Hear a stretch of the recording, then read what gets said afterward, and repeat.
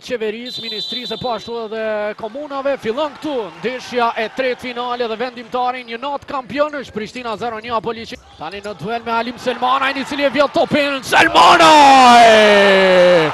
Një me 0 Prishtina 01. E shohim përsëri goditjen e tij me të majtën, kur e vodhi topin nga Kamio, e nuk dështon Selmanaj. Tani topi në zonë, një me një barazon gjithçka Kamio me golin e tij të pestë dhe në vazhdim. E shohim përsëri, shpejt ishte aksioni.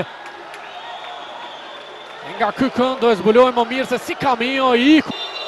Nis Dardan Topilla, goditja e tij, pret Bajram Ramadani dhe kundërsulmi mund të jetë vrastar, çfarë pritje, Limani me goditjen. Kemi dy herë, Nga 5 minuta shtesë, e në rast se ka barazim edhe më tutje penalti, pastaj Kaçanolli me goditjen, joj!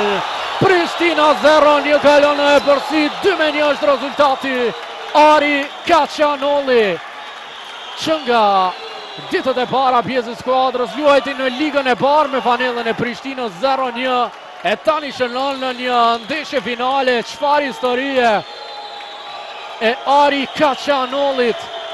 Një gol për një ëndër, një gol që afron kryeqytetasit drejt tro. Goli i dytë ishte ai për Kaçanollin në ndeshjen finale. Kaçanolli! Edhe një tjetër pasi një nuk mjafton për djaloshin e kryeqytetit. Tre me një rezultati për Prishtinën, zero një, edhe një herë tjetër, Ari Kaçanolli.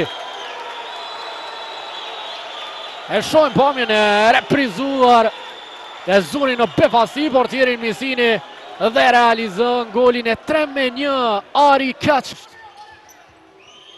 Shumë e vështirë do të jetë për ta që të bëjnë diçka. Abril. Jakup Ramadani një gabim i tij, goditja nga distanca. 4 me 1 Prishtina 01. Tanimë mund të thuhet se është kampione e këtij edicioni në Superligën e futsallit tonë. Me këtë gol Ramadan Alaj e vulos suksesin.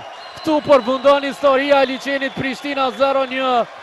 Është mbreti i futsallit në vendin tonë e shohim përsëri një gabim që kushton sepse Ramadan Alaj nuk fal të nderuar shikues e ka përvojën e ka kualitetin dhe ai thot përfunduar këtu e pranon humbjen skuadra e Liqenit Prishtina 01 arrin titullin e parë në histori të klubit djaloshi kryeqytetas Ari Kaçanolli Ishte vendimtar në këtë sukses teksa vulën fitores ia dha Ramadan Alaj, një prej më të mirëve të të gjitha kohërave i cili pas tre finaleve të humbura rikthehej